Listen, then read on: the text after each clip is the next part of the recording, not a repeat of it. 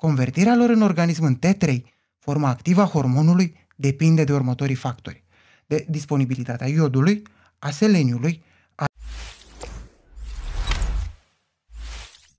Bine v-am găsit, prieteni! Subiectul nostru de astăzi este tiroida leneșă, adică problema aceea care îi face pe oameni să ia în greutate. Ce bine ar fi să fie doar atât, problemele cu greutatea sunt doar o mică parte din complicațiile care vin împreună cu hipotiroidismul. La fel cum terapia de substituție hormonală e doar o parte din ce aveți de făcut ca să vă îmbunătățiți calitatea vieții dacă vă confruntați cu o tiroidă leneșă. Așa că astăzi o să discutăm despre cum funcționează hormonii tiroidieni și ce nutrienți ne sunt necesari pentru ei, despre alimentele și suplimentele care îi ajută pe cei care suferă de hipotiroidism, iar la final o să vedeți că dacă nici tratamentul și nici nutriția nu par să fie suficiente, problema s-ar putea să fie cu lucrurile din viața voastră care vă deranjează, iar soluția să vină de la un organ situat deasupra tiroidei. Trec imediat la explicații, înainte însă nu uitați vă rog că dacă mă vedeți pe YouTube, aveți capitolele mai jos, în descriere, ca să puteți, dacă vreți, să săriți direct la partea care vă interesează.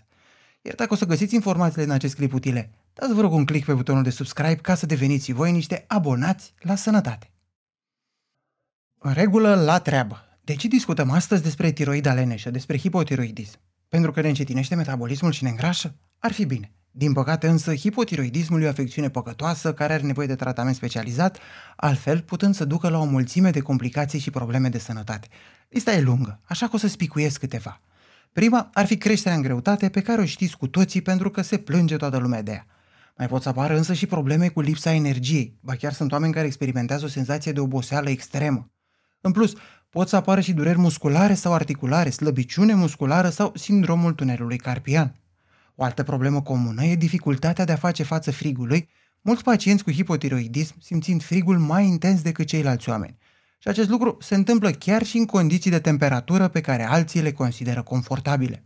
Iar beleaua e că problemele pe care tocmai vi le-am enumerat sunt cele, hai să le spunem, mai ușoare. Hipotiroidismul poate fi însoțit de depresie, hipercolesterolemie, hipertensiune arterială, probleme de fertilitate, mix edem și altele. Nu există dubiu că pentru a evita aceste probleme este important ca persoanele cu hipotiroidism să fie tratate corespunzător, de obicei prin terapie de substituție hormonală. Dar în afară de a lua medicamente, există niște lucruri pe care e obligatoriu să le faceți ca tratamentul să fie eficient și pentru a vă crește calitatea vieții.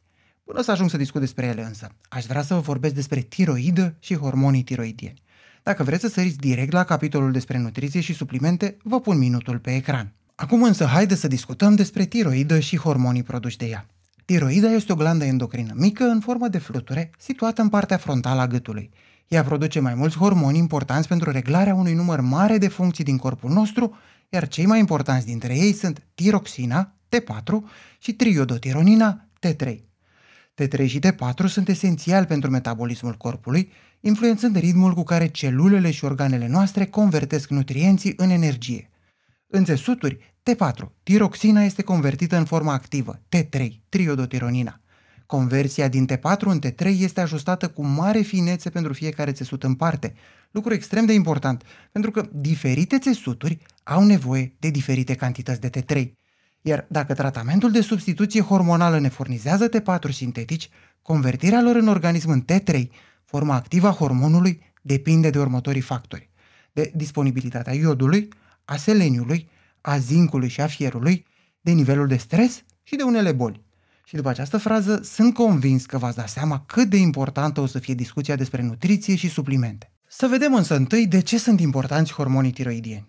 Ei bine, hormonii tiroidieni au rolul de a regla metabolismul afectând viteza cu care celulele transformă nutrienții în energie.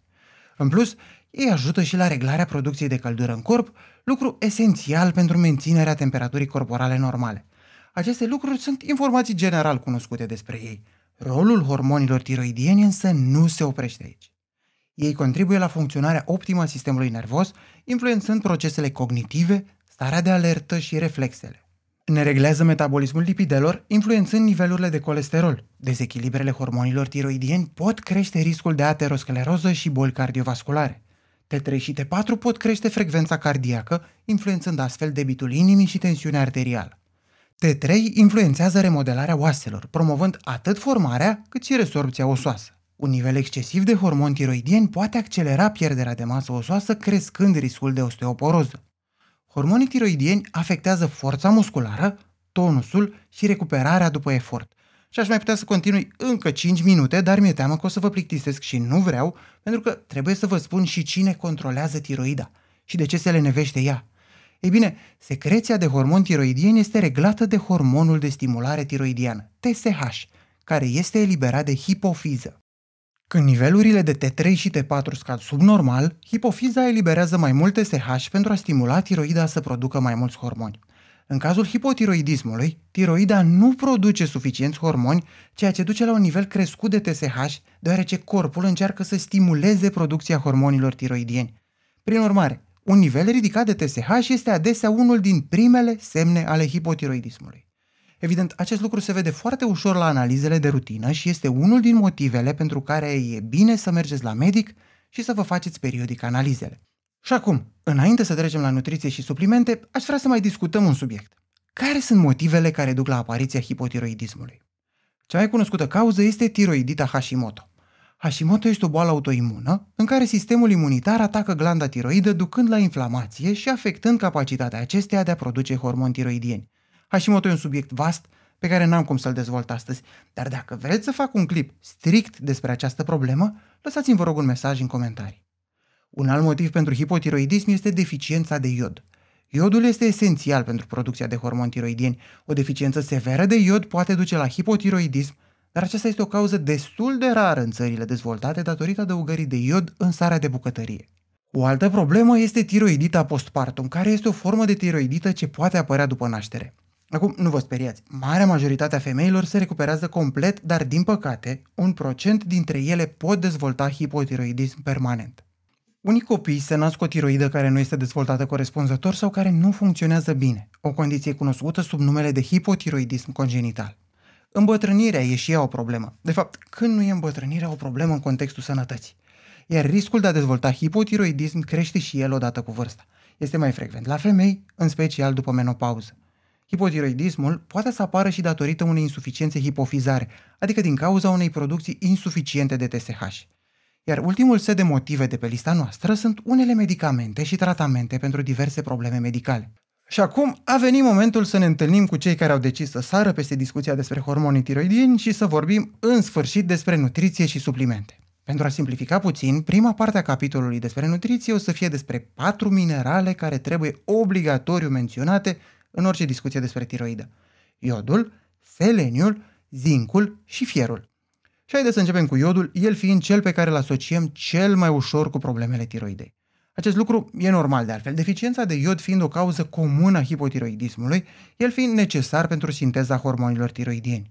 Lipsa iodului din alimentație n-a mai fost însă o problemă în ultimele decenii în lumea cât de cât civilizată, el fiind adăugat în sare. A început însă în ultima vreme să redevină o potențială problemă pentru că sunt oameni care vrând să mănânce cât mai sănătos, nu prea mai consumă sare. Dacă sunteți în această situație, încercați să introduceți în dieta voastră alimente care conțin iod, cum ar fi pește, fructe de mare sau ouă. Există și unele fructe și legume care pot fi utile, dar cantitatea de iod din ele depinde de compoziția solului. Suplimentele cu iod se folosesc doar la recomandarea medicului și se dau în general numai în sarcină sau în alăptare. Deci avem soluții, iar deficitul de iod nu este ceva care să ne sperie. Ne îngrijorează însă excesul de iod în cazul celor care au tiroidită Hashimoto, pentru că lor le agravează simptomele, iar ei trebuie să fie atenți să nu consume cantități mari din alimentele menționate mai devreme. Să mergem acum mai departe și să discutăm despre seleniu, un alt mineral esențial pentru funcționarea optimă a tiroidei. Seleniul este o componentă esențială a unor enzime antioxidante care protejează tiroida de problemele cauzate de radicalii liberi ce apar în cursul producției normale de hormoni tiroidieni.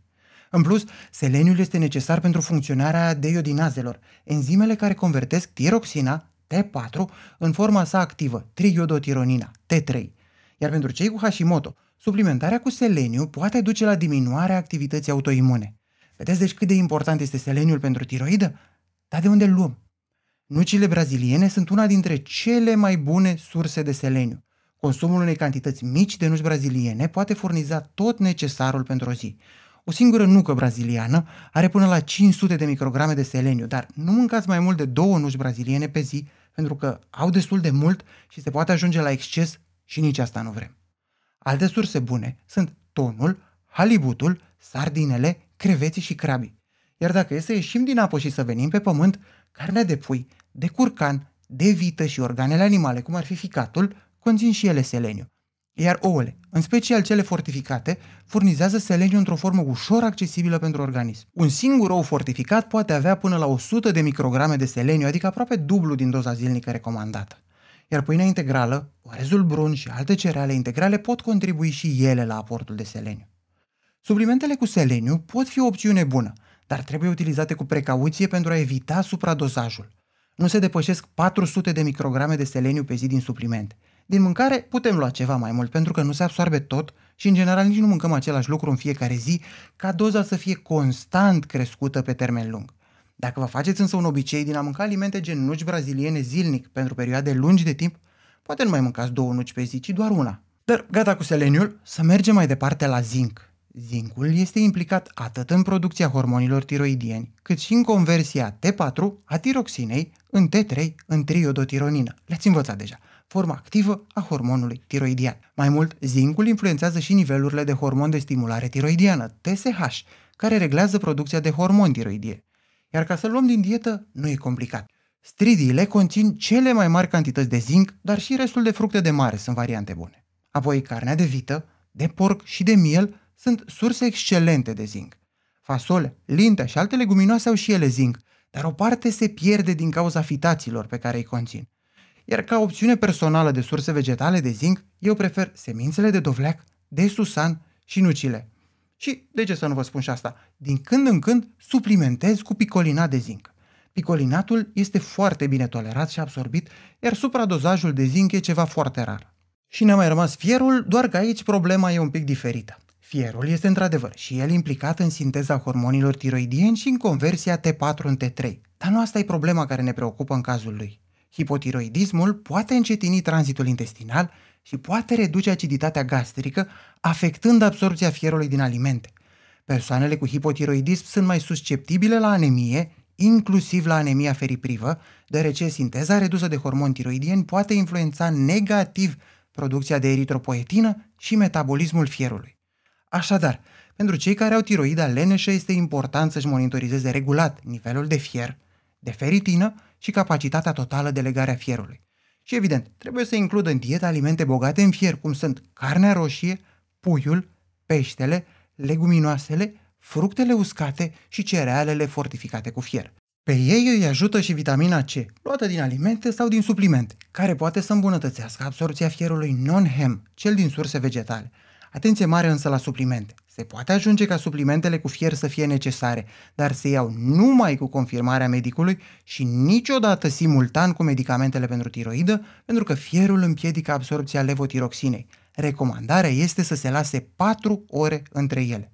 Dar pe lângă seleniu, iod, zinc și fier, mai există câțiva nutrienți importanți în hipotiroidism. O să fiu însă un pic mai rapid cu ei. Primii sunt antioxidanți care ajută la combaterea stresului oxidativ și pot fi utili pentru protejarea celulelor tiroidiene. Sursele cel mai ușor de identificat sunt fructele și legumele colorate, cum ar fi afinele, roșiile și ardei. Apoi, acizii grași omega-3 trebuie și ei menționați. Acizii grași omega-3 pot ajuta la reducerea inflamației asociate cu unele forme de hipotiroidism. Cea mai bună sursă este peștele gras, dar putem să ne ajutăm și de semințele de in și de chia. Următoarele pe listă sunt fibrele. Persoanele cu hipotiroidism pot avea probleme cu tranzitul intestinal sau chiar constipația. Fibrele ajută la îmbunătățirea tranzitului și la menținerea unui sistem digestiv sănătos. Surse bune de fibre sunt legumele, fructele, leguminoasele și cerealele integrale. Mai departe, să trecem la vitamine. Mai precis, la vitaminele B. Vitaminele B sunt importante pentru metabolismul energetic, care este în general scăzut la persoanele cu hipotiroidism. Surse bune de vitamine B sunt carnea, peștele, ouăle și produsele lactate. Iar dacă urmați o dietă vegetariană sau vegană, vă sunt recomandate și suplimentele cu beuri. Și ultima pe listă este vitamina D, a cărei deficiență este comună la persoanele cu afecțiuni autoimune ale tiroidei. Expunerea la soare este o sursă importantă de vitamina D, dar ea poate fi de asemenea obținută și din alimente, precum peștele gras, gălbenușul de ou și produsele lactate fortificate. Și dacă până acum v-am spus ce e bine să mâncați, e cazul să vă spun și ce alimente să evitați în dieta voastră. Avem o clasă întreagă de alimente ce conțin goitrogeni, adică substanțe care încetinesc capacitatea tiroidei de a produce hormoni, interferând cu absorpția iodului. Cele mai întâlnite alimente din această categorie sunt cruciferele, ca varza, brocoli sau conopida. Nici produsele din soia nu sunt indicate și e bine să evitați tofu, tempe, laptele de soia sau edamame. Chiar și nucile și semințele pot fi o problemă. Acum însă să nu exagerăm. În cantități moderate și în special gătite, alimentele despre care am vorbit nu sunt chiar o problemă. Ce poate fi însă o problemă pentru persoanele cu tiroidită Hashimoto este sensibilitatea la gluten sau boala celiacă. În cazul lor, eliminarea glutenului din dietă poate ajuta la reducerea inflamației și la îmbunătățirea simptomelor. În plus, trebuie să fii atenți la tot ce poate provoca inflamație și stres oxidativ, cum ar fi alimentele ultraprocesate și zahărul. Și cam atât despre mâncare. Pentru că dieta nu e totul. Stresul poate avea și el un impact semnificativ asupra funcționării tiroidei. Stresul cronic poate inhiba secreția de TSH și poate afecta conversia T4 în T3. Iar în cazul celor cu Hashimoto, stresul poate agrava răspunsul autoimun. Soluțiile sunt cele clasice. Mișcare, somn de calitate, nutriție echilibrată, psiholog și suplimente cu adaptogeni, cum ar fi ashwagandha, rhodiola sau schisandra. Așadar, dacă lucrurile nu stau chiar bine deși vă luați tratamentul corect și sunteți atenți la ce mâncați, vinovatul s-ar putea să fie stresul. Iar dacă ați rezolvat și cu stresul și încă mai sunt probleme, s-ar putea să fie cazul să verificați dacă nu cumva există unele afecțiuni ce sunt și ele legate de hipotiroidism. Nu o să intru în detalii, pentru că aceste lucruri se rezolvă la specialist, nu pe YouTube. O să menționez doar că există și alte boli autoimune în afară de Hashimoto care pot afecta funcționarea tiroidei, că există un număr mai mare al tulburărilor tiroidiene la femeile cu sindromul ovarelor polichistice și că boala celiacă și ea o tulburare autoimună de altfel poate crește riscul problemelor tiroidiene. Și acum, deși aș fi vrut să mă opresc, mai e ceva despre care trebuie să vă spun două vorbe. Mișcarea. Practicarea regulată a exercițiilor fizice este esențială pentru persoanele care suferă de hipotiroidism. Făcând mișcare, o să vă accelerați metabolismul, o să vă reduceți simptomele de oboseală, o să vă mențineți sănătatea inimii, o să aveți oasele și mușchii mai puternici și o să vă îmbunătățiți starea psihică. Practic, o să rezolvați o mare parte din consecințele negative ale hipotiroidismului folosind un medicament care nu costă nimic și nu are efecte secundare, exercițiul fizic. Și acum chiar gata pentru că iar vorbesc mult. E cazul să tragem și niște concluzii. Hipotiroidismul este o afecțiune, să nu zic complicată, complexă mai degrabă, dar cu informațiile și strategiile potrivite ea poate fi gestionată cu succes. Ați văzut și că terapia cu hormoni tiroidieni sintetici poate fi susținută sau încurcată de acțiunile noastre.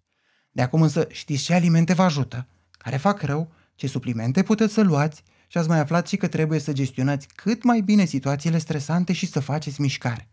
Partea cu stresul știu că e grea, dar o să vă rog măcar să încercați să o rezolvați. Acestea fiind spuse, am mai încheiat un clip. Dacă ați rezistat până aici, am o mare rugăminte la voi. Să-mi lăsați o opinie în comentarii și să apăsați pe butonul de like sau pe cel de subscribe. Acest mic gest al vostru mă motivează pe mine să fac mai multe clipuri ca acesta. Iar dacă vreți să susțineți acest proiect, cel mai bun lucru pe care puteți să-l faceți este să deveniți membri ai canalului. Eu sunt Ioan și până data viitoare aveți grijă de voi și de sănătatea voastră.